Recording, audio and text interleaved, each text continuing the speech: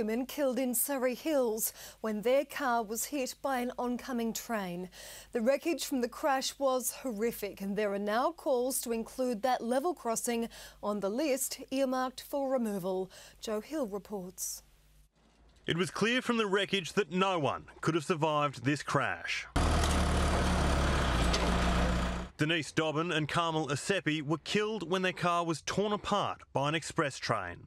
They were neighbours in an independent living village where their friends today struggled to comprehend their deaths. I just felt completely empty, empty completely. But once a person goes like that, uh, you got no words to say, you know, just I will miss her for a long, long time.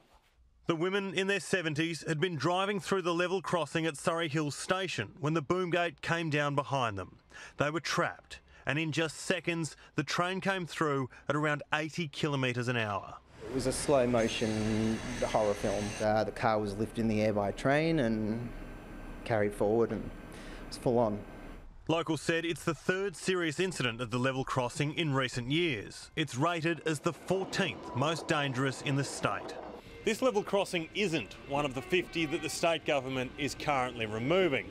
And despite yesterday's tragedy, there are no plans for it to be added to the list. The driver of the train is receiving counselling. Police and the Transport Safety Bureau are investigating.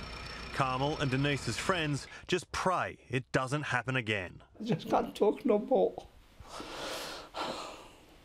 Joe Hill, 10 Eyewitness News.